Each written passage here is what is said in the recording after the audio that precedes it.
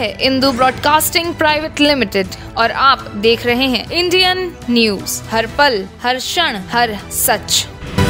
अगली खबर के लिए रुख कर रहे हैं बेमेतरा की ओर, जहाँ बेमेतरा विधानसभा के किसान नेता योगेश तिवारी ने मंगलवार को पदयात्रा कर भाजपा प्रत्याशी दीपेश साहू के निवास स्थान पहुँचे और उन्हें विधानसभा चुनाव के लिए अपना समर्थन भी दिया।